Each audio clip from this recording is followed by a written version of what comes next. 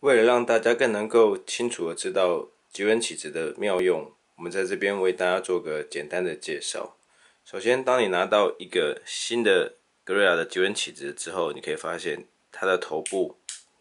是可以旋转的。当转到最左边的时候，它是所谓的栓入的功能；转到最右边的时候，它就所谓的栓出的功能。中间则是一般。螺丝起子的功能就跟房间一般的螺丝起子是一样的。然后呢，它的尾部是有可以栓开的，也就是你可以看到有非常多的螺丝起子被收纳在里面。好，那介绍完这些功能之后，我们就开始为大家介绍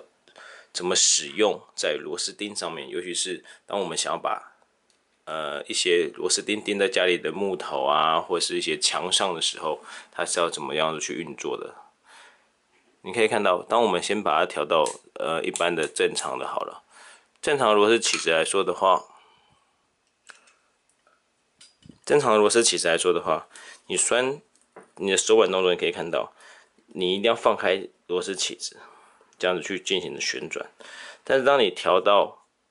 Gorilla 的栓入的功能，也就是最左边的时候呢，你可以看到，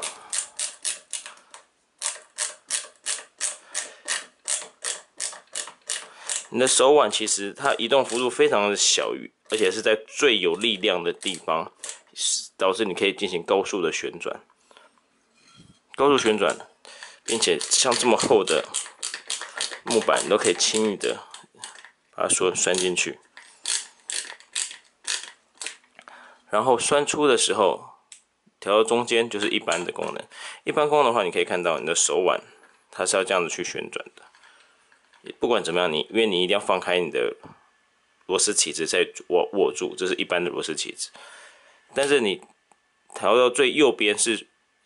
Gorilla 机关起子、神力卷起子栓出的功能的时候，你可以看到非常的快速，它就可以把它栓出来了。我们可以再为大家示范第二次。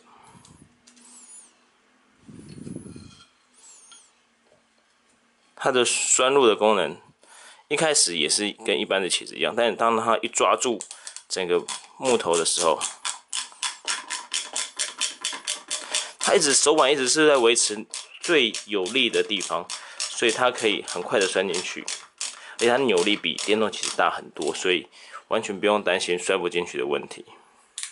而且你不用担心会担心会用坏，因为它可以承受的高速旋转的力道是非常好的。你可以看到很快的就可以进行动作。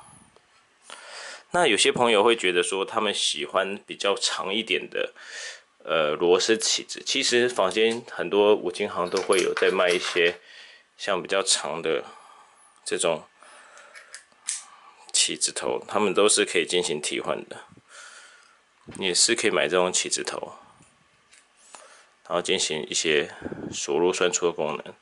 它的功能不会差很多，一样是可以进行旋转的。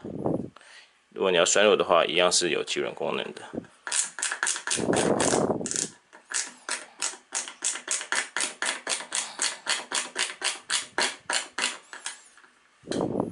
翻出，